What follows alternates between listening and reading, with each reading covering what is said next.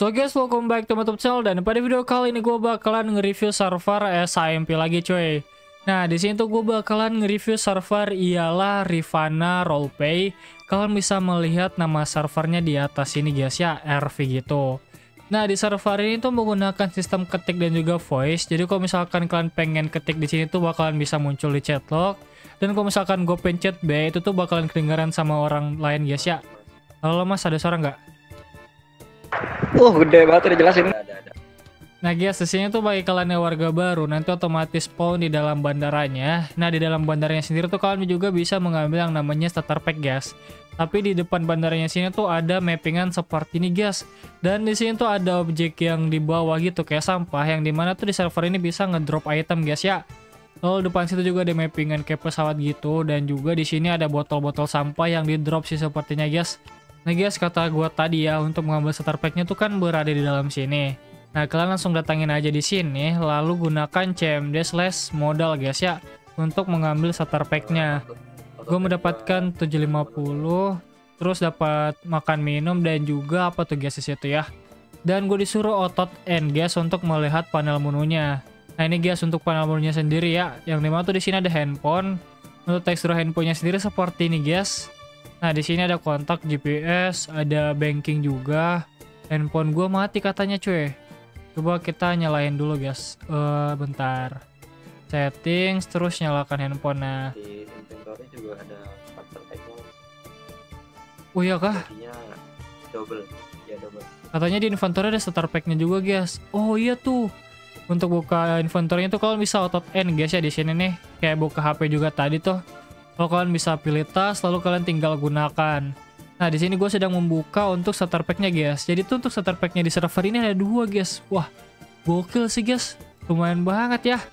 Dan sepertinya di server ini menggunakan sistem dolar, guys ya. Nah, di sini udah masuk semua, guys ya, untuk starter pack-nya. Ya, sekarang tuh gue berada di balai kotanya ya. Ini tuh untuk esternya sendiri seperti ini, coy. Ada mappingan ya, guys ya. Yang di mana tuh di depan sini ada tempat parkiran dan juga untuk jalanannya di red texture seperti ini, coy. Nah, di depan sana tuh guys untuk balai kotanya. Di sini ada benderanya, bendera Amerika. Lalu di sini mungkin tulisan balai kota guys ya, cuman di gua ngebug. Lalu kita coba masuk ke dalam interior dari balai kotanya nih guys. Selamat datang di balai kota ya. Kita tinggal otot F aja. Lalu di sini untuk interiornya sendiri guys. Nah, di depan sini tuh ada checkpoint yang di mana kalian bisa pencet ALT untuk mengambil job. Cuman kita buat KTP dulu guys ya, baru bisa bekerja ya. Nah, di sini guys tinggal pencet Y. Lalu kalian bisa pilih buat KTP. Dan selain buat KTP di situ, kalian juga bisa menjual rumah dan juga jual bisnis, guys. Nah, kita coba ke sini nih, kita pencet ALT. Udah bisa mengakses guys ya. Ada supir bus, tukang ayam, lumberjack, petani dan sebagainya. Kita bakalan cobain untuk pekerjaan tukang ayam guys kata adminnya ya. Nah, gue udah berhasil mengambil pekerjaan sebagai tukang ayam cuy di situ. Nah guys, sekarang tuh gue berada di tempat job ayamnya nih. Nah untuk job ayamnya sendiri tuh ada mappingannya cuy. Kalau bisa lihat di sini nih, pekerjaan ayam Rivana cuy. Lalu di sini mungkin buat kalian yang pengen mengambil jobnya guys ya. Oh ini nih tinggal pencet ALT untuk on duty pekerjaan ayam. Buset, gue otomatis teleport cuy. Lalu kita tinggal pencet ALT untuk mengambil ayamnya di sini. Gue berhasil mengambil satu. Nah ini juga hasil dua.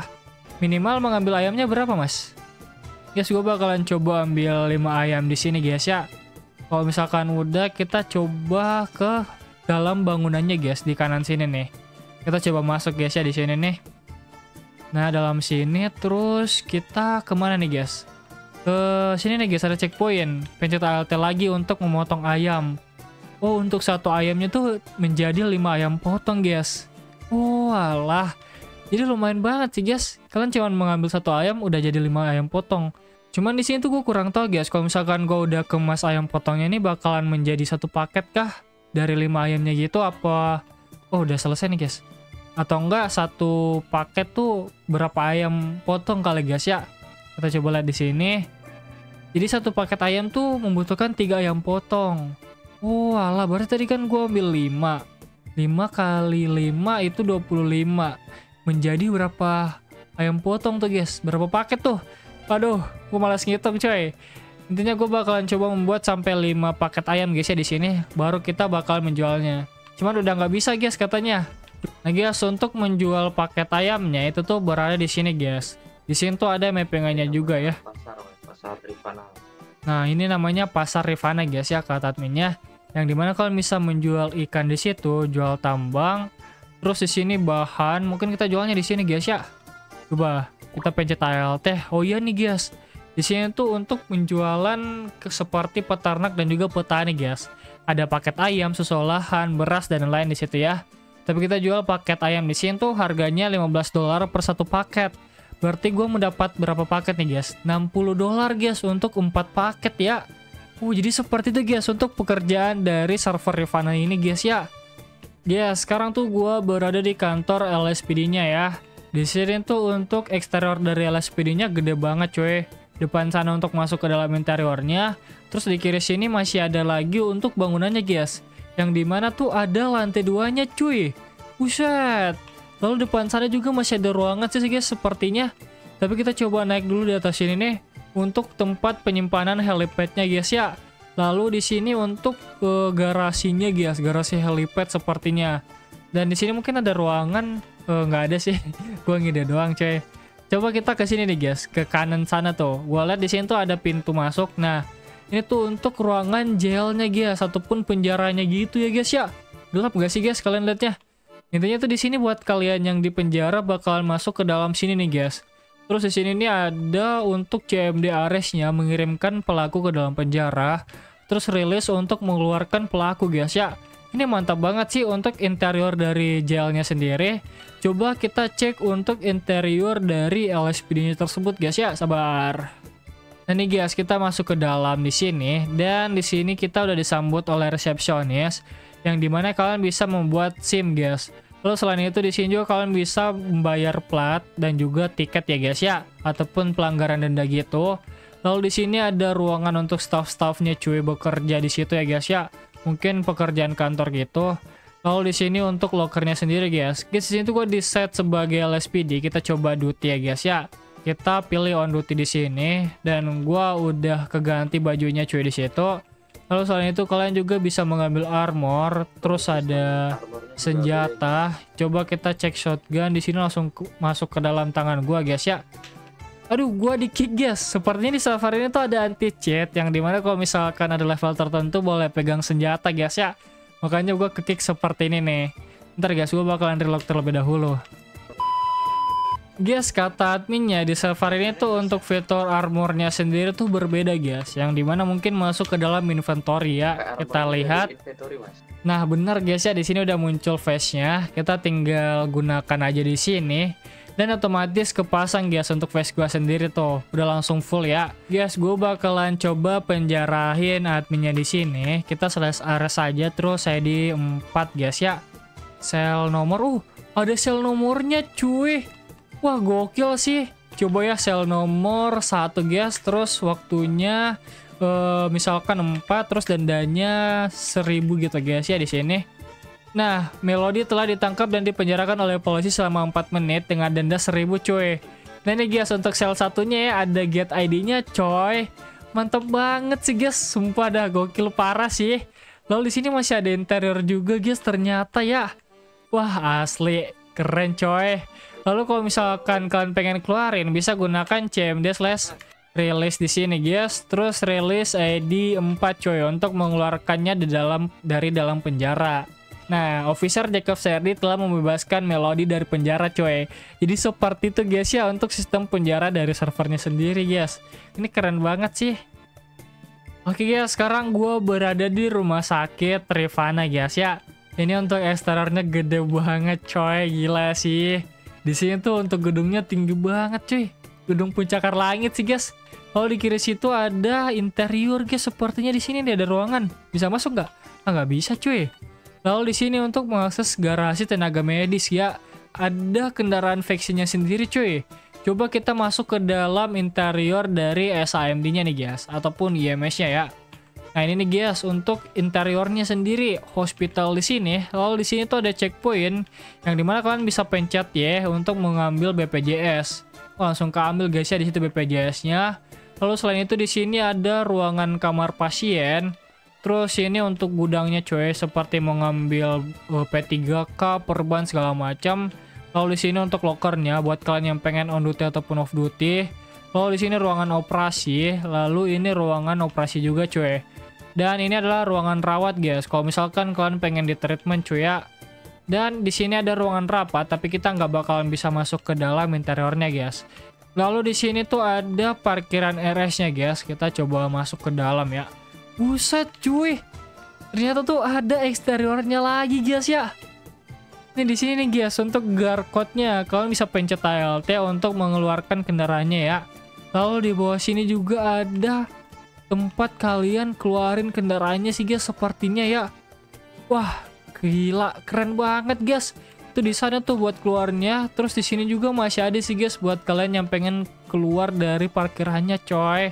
Ternyata tuh tembus di sampingnya guys, gue baru tahu ya. Tuh untuk RS-nya depan sini dan untuk parkirannya di belakang sini ya adik-adik ya.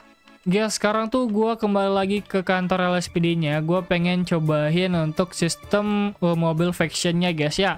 Kita datangin aja di sini untuk garasi kepolisiannya ataupun SIMD dan sebagainya guys. Intinya tuh garasi faction gitu ya. Kalian tinggal pencet ALT, Lalu di sini tuh langsung muncul list-list kendaraannya ya seperti Bullet, Sultan, kendaraan patroli dan masih banyak lagi. Kita coba keluarin satu kendaraan patroli di sini. Dan di sini untuk kendaraannya sendiri ataupun mobilnya sendiri tuh berwarna hitam, guys. Terus untuk masukinnya kayak gimana nih, guys? Kita tinggal klakson kah? Oh iya benar, guys ya. Coba gua keluarin mobil Bullet di sini. Uh, untuk mobil Bulletnya tuh ada Toys V-nya, guys, di sini nih. Gokil sih cuy. Ada sirinenya di atas sini, terus ada juga untuk uh, apa namanya nih guys, spoilernya gitu ya. Keren coy.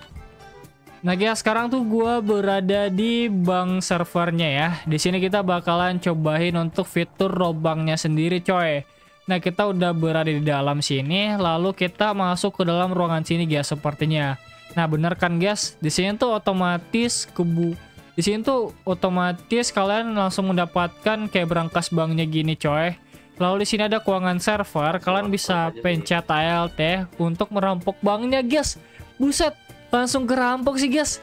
Langsung muncul di sini alarm bank telah terjadi robang di bank besar di Fana. Warga harap menjauh dari sekitar cuy katanya. Lalu di sini ada infonya, kamu sudah merampok bank dan mendapatkan uang merah sebesar 120.000 cuy. Wah dapat uang merah guys mungkin uang merahnya itu bisa ditukar ataupun di money laundry guys ya kalau misalkan bahasa kerennya gitu ya di IC cuy nah gue udah selesai di sini guys untuk progress activity-nya kalau misalkan udah mungkin kita bakalan coba tukar guys uang merahnya atau enggak kita bakalan cobain satu fitur rob lagi yaitu yang namanya rob warung guys jadi tunggu sebentar ya Oke guys, seperti kata gua tadi, sekarang tuh gua berada di market ataupun warungnya coy. Nah, untuk warungnya sendiri seperti ini guys ya. Di belakangnya tuh ada pom bensin. Terus di depannya sini nih guys, buat kalian yang pengen masuk ke dalam warungnya guys. Ataupun marketnya sendiri ya. Lalu depan sini ada tipe marketnya yang di mana kalian bisa pencet ya untuk membeli seperti nasi padang, Coca-Cola, Starling dan sebagainya guys di situ. Guys, di sini tuh kalau misalkan kalian pengen rob warung, katanya itu tinggal ditodong aja guys ya seperti ini nih, sabar. Kita todongnya depan sini nih guys. Nah tuh, langsung angkat tangan karakternya, terus langsung muncul telah terjadi perampokan di daerah Glen Park, coy. Kalau misalkan udah gimana, Mas? Wah, langsung dapat duitnya cuy di situ. Auto masuk ya duitnya Mas ya? Masuk ya duitnya Mas ya? Iya, iya, iya dan bakal langsung muncul alarmnya cuy dan karakter NPC-nya tuh bakalan nunduk seperti ini guys ya wah keren sih adik-adik ya oke guys sekarang tuh gua berada di zona santai jadi ini adalah tempat uh, healing mungkin guys ya oh iya tuh sepertinya langsung muncul seperti ini guys anda memasuki tempat healing guys katanya dan gimana nih guys? Di sini tuh ada tempat fishing shopnya yang di mana kalian bisa beli pancingan sepertinya guys di dalam sana. Terus ada fishing bootnya juga coy. Lalu di depan sana ada untuk uh, mappingan-mappingan lagi guys, sabar. Nah ini nih guys, di sini tuh ada mungkin kalau misalkan ditambahin seperti fast food di sini tuh keren banget sih guys. Kalian bisa makan minum di sini. Terus di sini buat kalian yang pengen beli baju gitu, ini juga sama. Terus ada security-nya juga di sini. Oh, security-nya enggak ini guys, yang enggak ngaruh kalau misalkan kita todong. Lalu di sini ada kafenya. Oh, kalau misalkan beli makan minum tuh di sini guys, di cafe. Nah tuh guys ada fried chicken, pizza steak, terus ada sprung juga. Nah jadi seperti itu guys ya untuk mappingan dari tempat santainya ataupun zona santainya tersebut guys. Guys, yang menarik di server ini tuh yang di mana kalian bisa yang namanya drop item ataupun tag item cuy. Ini tuh sangat mudah yang di mana kalian tinggal buka radial menu, lalu kalian ke inventory coy. Lalu misalkan di sini gue bakalan ngedrop chicken guys. Kita masukin jumlahnya aja satu di situ. Lalu kita tinggal pilih buang di sini dan otomatis ke remove ataupun kebuang coy. Lalu di sini muncul objek dari ayamnya guys. Lalu untuk mengambilnya tuh gimana nih? Ambilnya tinggal ALT doang mas. Oh, untuk ambilnya tuh kalian tinggal pencet ALT guys. Lalu di sini muncul Rivana item drop, kalian tinggal pilih ambil di sini dan ada muncul mengambil item. Wah, gokil guys. Udah seperti 5M gak sih guys? Cuman bedanya tuh kalau misalkan di 5M tuh ada texture di sini guys ya. Tapi ini menurut gue udah gokil banget sih guys. Semi 5M ya kalau kata gue mah. Tapi ini asli keren banget coy. So guys, terima kasih banyak yang udah nonton videonya sampai habis. Jangan lupa tinggalkan like, comment, dan subscribe karena semua itu gratis. Dan kalau misalkan kalian suka dengan server ini, jangan lupa untuk ya guys ya. Saran gue sih kalian wajib join soalnya tuh servernya gokil parah guys. Mulai dari tadi untuk mappingan, fitur-fiturnya itu menurut gue bagus banget ya guys ya. Jadi tunggu apa lagi langsung aja join ke servernya, linknya di deskripsi video di bawah. Oke guys, mungkin sekian aja videonya and see you next video. Dadah.